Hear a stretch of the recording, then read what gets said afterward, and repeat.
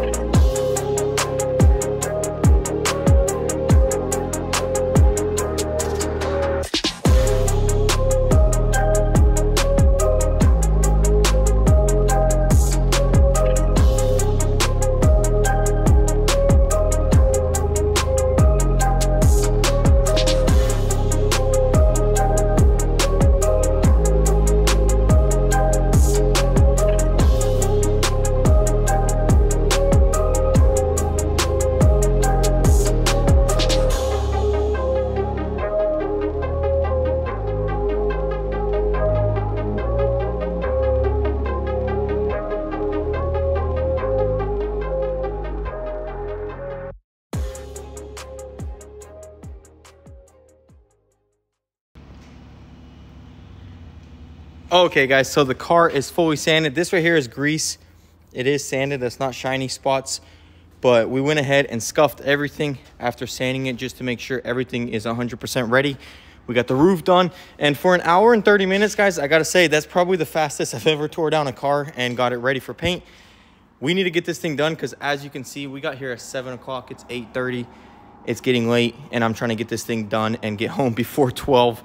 Hopefully we can do that. Who knows, sometimes it doesn't go right. So we're gonna go ahead and get it over there, get it taped up and start painting this thing. And hopefully we'll get a good paint job.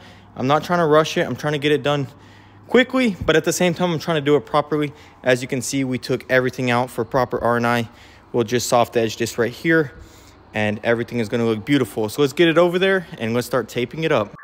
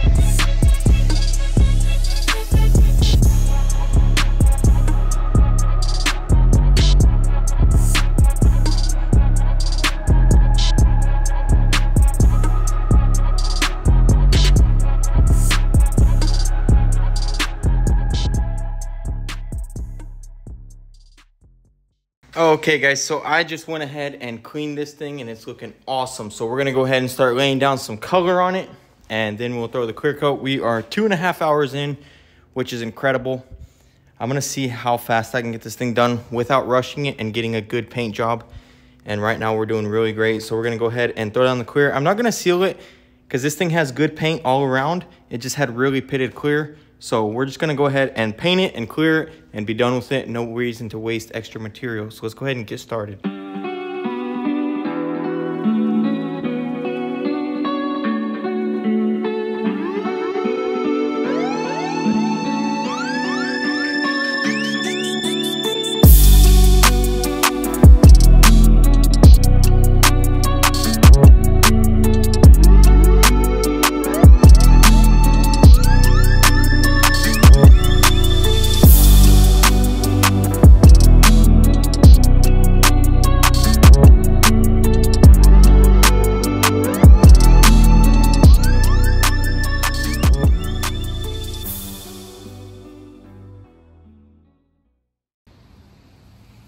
All right, guys, so it's been a couple of days, and guys, this thing turned out absolutely beautiful.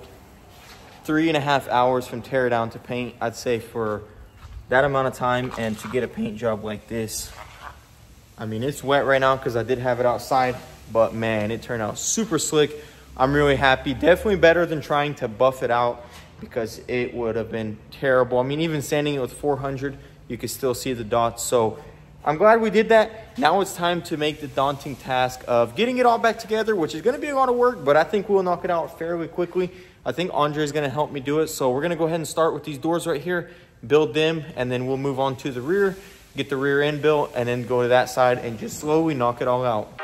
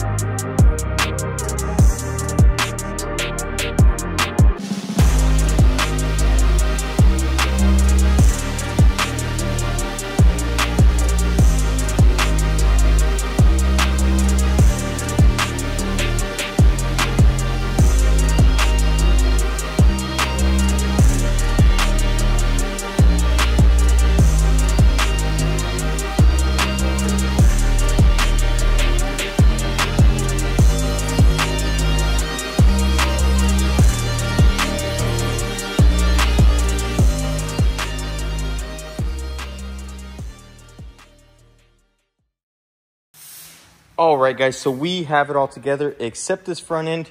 We do need to take this rebar off because unfortunately I ordered the wrong one.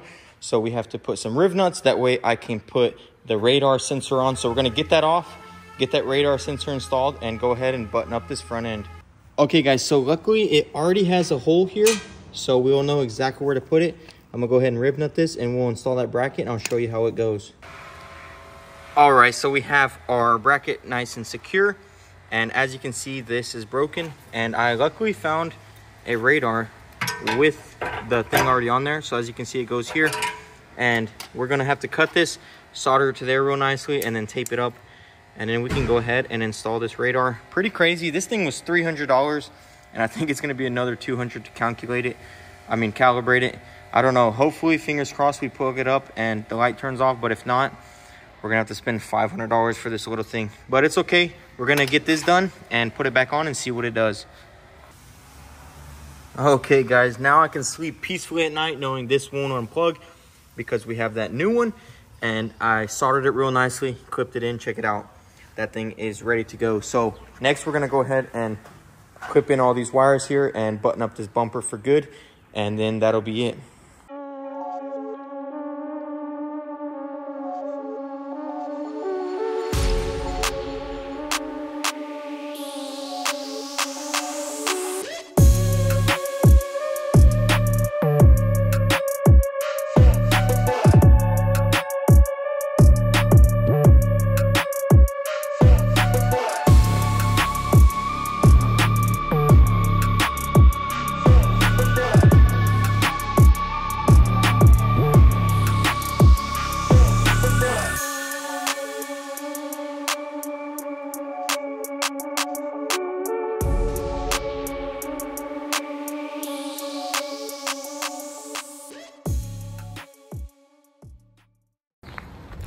Right guys that is going to be it on this car. There's a couple tiny little things like the emblems and whatnot that i have to button up which i'll go ahead and do off camera.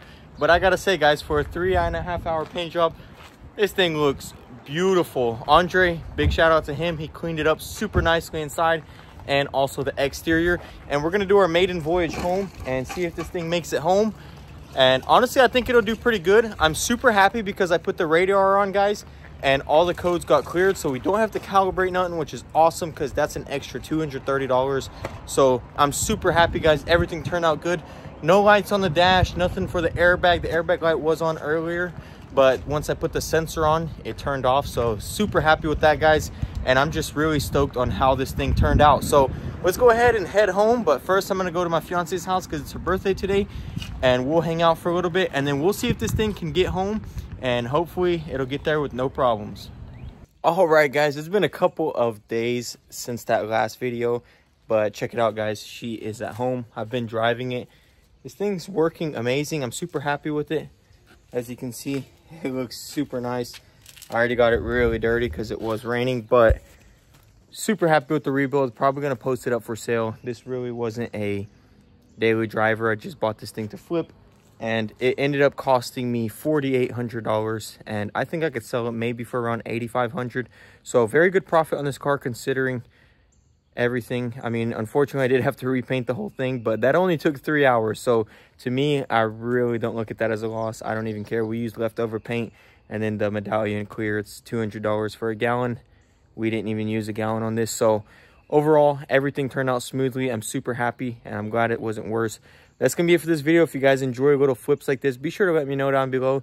And if you want to stick around be sure to smash that subscribe button. And you can follow us on instagram at motorhead.co stay tuned guys. We got a lot of cool content coming up. Sorry for the lack of post. I took a little break on youtube but we're about to be back in full swing.